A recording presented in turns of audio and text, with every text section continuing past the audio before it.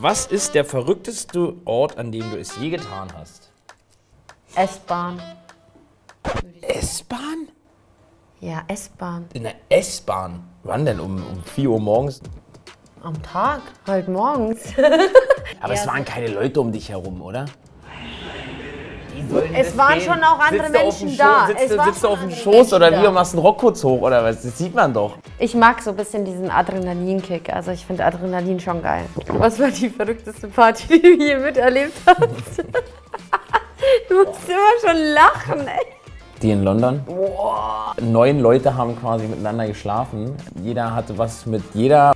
Und ein Kumpel von mir, der hatte dann so eine, so, der hat sie so hochgenommen und der hat halt so krass geschwitzt irgendwann. Die ganzen Fensterscheiben waren auch unfassbar krass beschlagen. Der ist sie ihm aus der Hand geflutscht sozusagen und die ist komplett nackt in so einen Glastisch von diesem Airbnb reingeflogen. Dieser ganze Glastisch ist tausend Einzelteile zerfallen. Und wir standen da alle nackt so und sagen so, ey, was ist denn jetzt passiert? Ey, das war eine ganz verrückte Partynacht.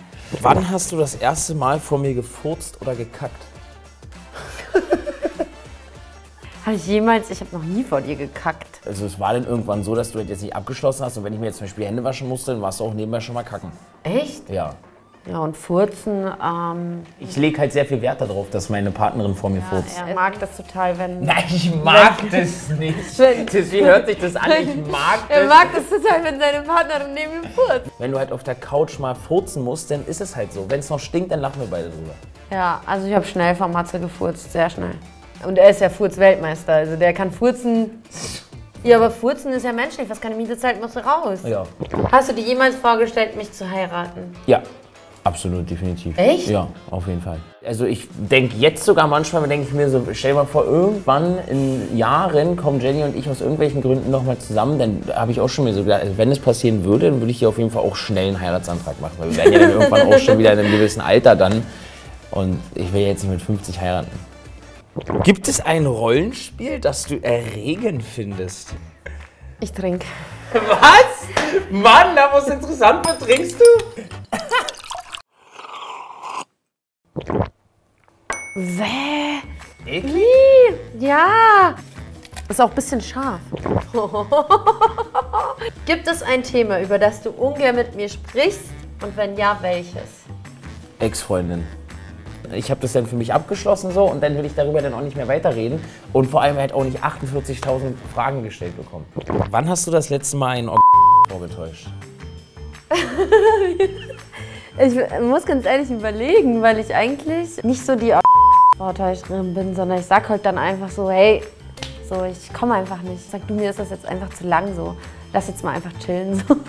Was ist das Peinlichste, bei dem dich deine Eltern erwischt haben?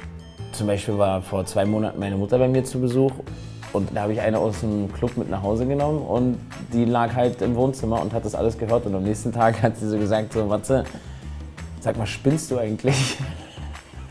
Oh, ist dein Freund eifersüchtig auf unsere gute Beziehung und dass wir viel Zeit miteinander verbringen? Also er ist ein eifersüchtiger Typ, sage ich mal so. Aber jetzt auf uns speziell eigentlich nicht, habe ich dir ja schon gesagt so, weil der Matze wird immer ein Teil von meiner Familie bleiben und von meinem Leben. Er ist ja der Papa von unserem Sohn Milan. Und abgesehen davon habe ich auch schon ein Herz für ihn übrig, sagen wir mal so.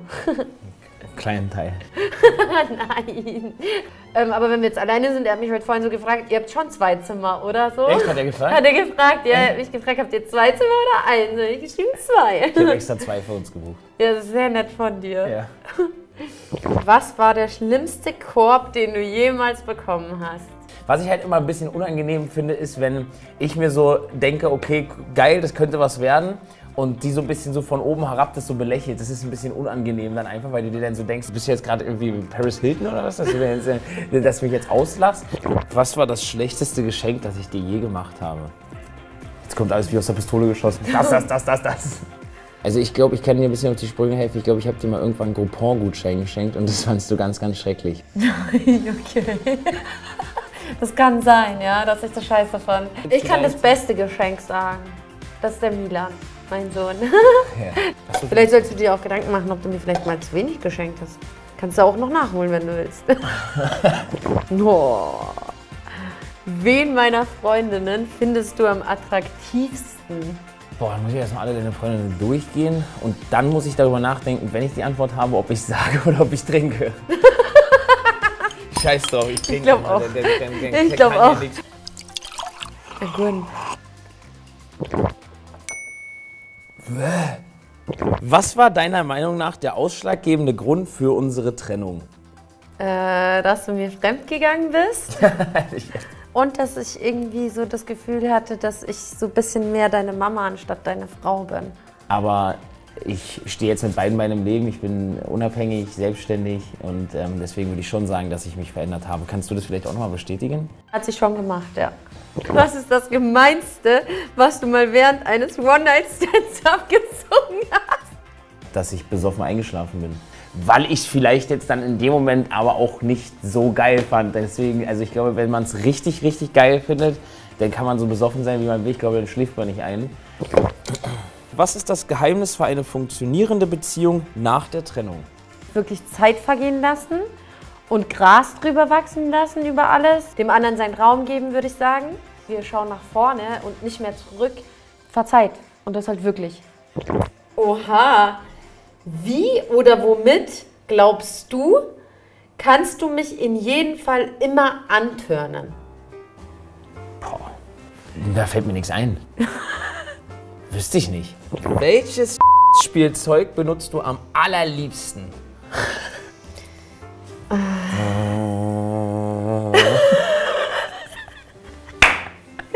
Ich überlege, ob ich es einfach sage oder trinke, aber egal, ich sage Satisfier Pro. Gut, aber man muss halt aufpassen, weil wenn man den zu oft benutzt, dann ähm, wird es halt schwer, dass man bei dann halt einfach beim Das ist so normalen wie als Sex wenn halt man sich zu oft einen runterholt. so ein tiefer weißt du, Also kann ich nur empfehlen.